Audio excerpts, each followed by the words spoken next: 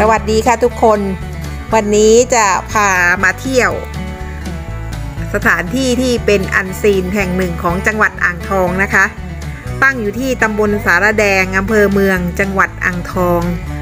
จะพามาเที่ยวสถานที่ท่องเที่ยวที่เป็นอันซีนแห่งหนึ่งเลยค่ะ ตรงนี้จะมีโบสถ์เก่าแก่ที่มีต้นโพขึ้น ทั้งสี่มุมของโบสถ์สี่ต้นค่ะ โดยตัวโบสถ์เนี่ยเป็นโบสถ์ที่เก่าแก่มาก และเชื่อว่าสร้างมาเมื่อ4ถึง500 ปีในช่วงต้นของอยุธยาตอนต้นแล้ว แต่ได้ถูกปล่อยร้างมาจนมามาช่วงสองร้อยกว่าปีเนี่ย ได้ถูกปล่อยร้าง แล้วก็ตัวโบสถ์เองก็สุดโทรมไปตามกาลเวลา แต่เป็นเรื่องมหัศจรรย์ที่ถือว่าเป็นอันซีนอย่างหนึ่งเลย คือปรากฏว่าตัวหลังคาโบสถ์เนี่ยก็ผุพังไปตามกาลเวลา แต่ว่าตัวผนังของโบสถ์เนี่ย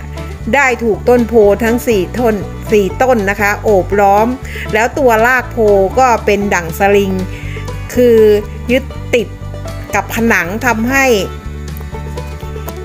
ตัวผนังโบสถ์ทั้ง 4ด้านเนี่ยไม่พังลงมา เราจะพาคุณมาพบกับฟาร์มพิศวงมหัศจรรย์ของธรรมชาติสถาปัตยกรรมธรรมชาตินะคะ ที่สร้างสรรค์ร่องรอยในอดีตให้ยังคงอยู่ต่อไป แทนที่จะถูกการเวลาทำลายสุดเสียหายจนไม่เห็นซากนะคะ จะเห็นได้จากรากโพนี่ค่ะ ได้รัดตึงเหมือนกับสลิงอย่างหนึ่งเลย เป็นสลิงธรรมชาติ ที่ทำให้ผนังของโบสถ์วัดสังกต่ายยังคงอยู่ได้นะคะ ไม่ซุดตัวพังลงมา ภายในเนี้ยก็จะมีพระพุทธรูป ห้องแรกเลยจะเป็นหลวงพ่อแก่นค่ะ ซึ่งมีเรื่องเล่าเกี่ยวกับหลวงพ่อแก่นว่าได้มีโจรตัดเสียนพระ แล้วก็น่าจะเอามาจากทางวิเศษชัยชาญ แล้วก็เอาเสียนของท่านมาทิ้งไว้ในบริเวณวัดนี้ ตอนหลังก็ได้ ก่อสร้างขึ้นตัวองค์พระนะคะ แล้วก็เอาเสียนมาสร้างไว้เป็นองค์พระพุทธรูปในห้องแรกเนี้ยเป็นพระนาคปก เรียกว่าหลวงพ่อแก่นค่ะ ดั้งเดิมยังไม่มีนะคะ ต่อไปห้องกลางหรือห้องที่สองนี้ก็จะมีพระพุทธรูปอยู่ 3 องค์ ซึ่งมีดั้งเดิมอยู่ในโบสถ์นี้ แต่เก่าก่อนเลย ชาวบ้านว่าอย่างนั้นนะคะ ก็คือหลวงพ่อวันดี องค์กลางองค์ใหญ่นะคะแล้วก็หลวงพ่อศรีและหลวงพ่อสุข ซึ่งหลวงห้องที่สองที่มีหลวงพ่อวันดีหลวงพ่อศรีหลวงพ่อสุขเนี่ยเขาก็ว่าโจรเนี่ยก็ได้มาตัดเสียนองค์พระเหมือนกัน แล้วก็กองไว้เอาไปไม่ได้ ตอนหลังชาวบ้านก็ได้มาต่อเสียนสร้างเสียนพระหลวงพ่อวันดีหลวงพ่อศรีหลวงพ่อสุขไว้ปฏิเอกเขาเรียกปฏิสังขรณ์ไว้ ให้เหมือนดังเดิม ห้องนี้จะเป็นห้องแรกนะคะ ที่ในวิดีโอเนี้ยก็คือหลวงพ่อแก่นที่มาสร้างทีหลัง ห้องนี้คือห้องที่สองก็คือมีหลวงพ่อวันดี หลวงพ่อศรีหลวงพ่อสุองค์ใหญ่คือหลวงพ่อวันดีค่ะ นี่คือได้รับการเล่ามาจากชาวบ้านที่ขายของอยู่ในละแวกนั้นนะคะ เล่าให้ฟังว่าเรื่องราวของโบสถ์ที่เป็นอันซีนพิศวงของวัดสังกต่ายนี้ ห้องที่สามเนี่ยก็จะเป็นเนี่ยปู่พญานาค ปู่โสม ซึ่งเป็นที่นับถือของคนละแวกนั้นค่ะ อาจจะมีปรากฏการณ์อะไรที่เกิดขึ้นก็อัญเชิญมาแต่ตอนแรกเลยไม่มีนะคะ เป็นห้องว่างๆ สังเกตไหมคะผนังเนี่ยจะถูกลากโพนี่รัดตึงเหมือนเรียกสลิงธรรมชาติเลย ทำให้ผนังของโบสถ์ไม่พังลงมา นี่คือปฏิมากรรมธรรมชาติค่ะ ต้นโพที่โอบอุ้มพุทธศาสนามาตลอด แม้กระทั่งลากยังยึดตรึงผนังของพระอุโบสถเก่าแก่แห่งนี้นะคะ ให้ยังคงอยู่ต่อไป แล้วก็เป็นที่แปลกมากที่ว่าอันซีนก็คือขึ้นสี่มุมของพระอุโบสถเลยค่ะ มีสี่ต้น ลากก็จะ เรียกเลื้อยรัดผนังทั้งสี่ด้านให้ยังคงอยู่ ไม่พังสลายลงมานี่ก็เป็นเรื่องแปลกของธรรมชาตินะคะ ที่สรรสร้าง เราก็พาพวกท่านผู้ชมผู้ฟังของเรามาดูสถานที่ที่เป็นอันซีน อารมณ์เหมือนหนึ่งวัดบางกุ้งที่สมุทรสงครามเลยนะคะ มีรากโพรากไม้ได้รัดตึงไว้ทำให้ผนัง เก่าแก่ของพระอุโบสถยังคงอยู่ แล้วก็มีเรื่องเล่าประวัติของวัดสังกต่ายจากคำบอกเล่าบอกต่อกันมา ว่าเดิมวัดสังกต่ายเนี่ยเขาเรียกว่าวัดสามกระต่าย แล้วก็เรียกเพี้ยนไปเพี้ยนมาจนเป็นวัดสังกต่าย น่าจะตั้งมาตั้งแต่อยุธยาตอนต้น โดยสภาพ หน้าวัดบริเวณซ้ายเนี่ยเขาบอกมีสระน้ำขนาดใหญ่เลย ซึ่งต่อมาตอนหลังได้ถูกถมดินกบไปแล้ว แต่มาช่วงร้อยกว่าปีหลังเนี่ยได้ถูกปล่อยล้างเออคือตามที่ได้ฟังมาอาจจะมีปัญหาเรื่องเกี่ยวกับทาง ว่าในยุคก่อนนั้นพระพิสงฆ์ที่พระพิสุสงฆ์ที่จำวัดอยู่มีความแตกแยกแตกสามัคคีกัน ช่วงหลังๆ ประชาชนชาวบ้านก็เลยหันไป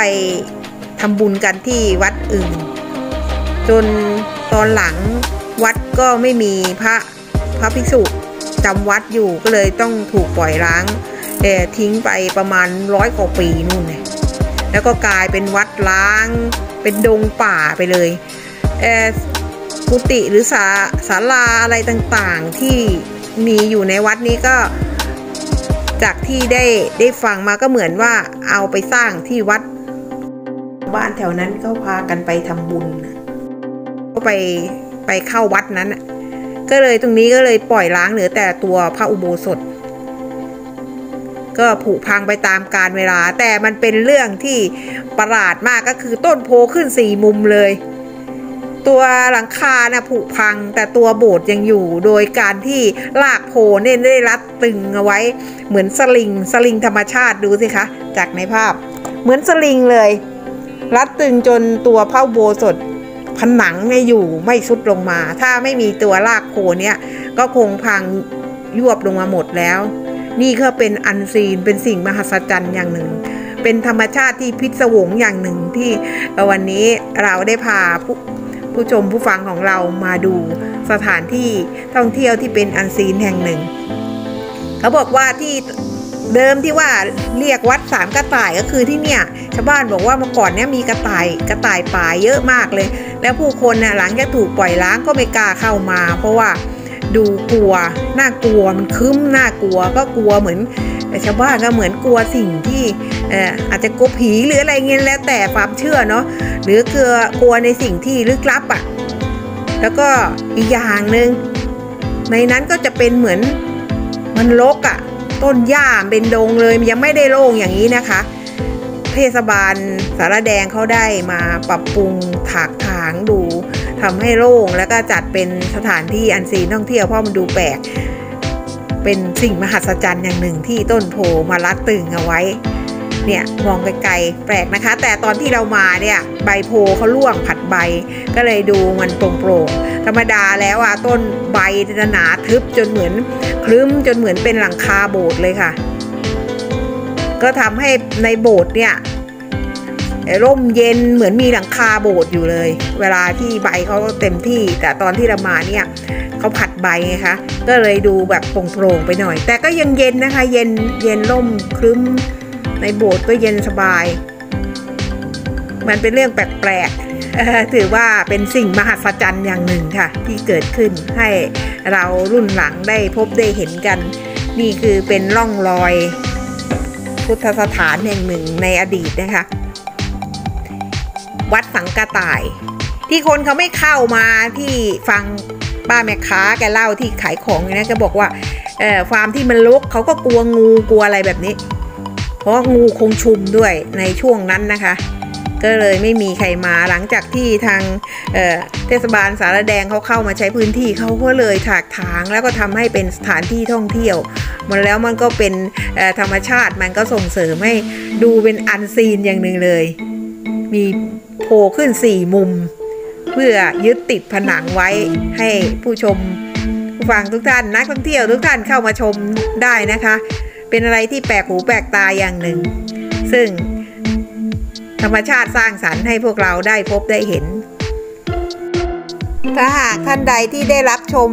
แล้วมีเวลาว่างก็อย่าลืมแวะเวียนกันมา เที่ยวชมณสถานที่อันเป็นอันซีนธรรมชาติสถาปัตยกรรมธรรมชาติที่สร้างสรรค์ยืดอายุของพระอุโบสถนี้ให้ยืนยาวไปด้วยการสถาปัตยกรรมลากโพนะคะ ที่เป็นดั่งสลิง ยึดพระอุโบสถไว้ทั้ง 4 ด้านเลยค่ะ สิ่งแปลกๆที่ธรรมชาติสร้าง อันซีนแห่งหนึ่งของจังหวัดอ่างทองค่ะ แล้วอย่าลืมกดติดตามให้สังวานชอบเล่าด้วยนะคะ กดกระดิ่งแจ้งเตือน เพื่อเพื่อนๆจะได้ไม่พลาดคลิปต่อไปที่สังวานจะสรรหามาเล่า และก็นำเรื่องราวแปลกๆและสิ่งต่างๆที่ได้เจอได้เจอมาเล่าให้เพื่อนๆ ทุกคนได้รับรู้ และก็ไปดูกันค่ะว่า สิ่งแปลกๆที่สรรหามา เล่าให้ท่านผู้ชมผู้ฟังทุกท่านของสังวานเป็นเช่นไร ขอบคุณค่ะ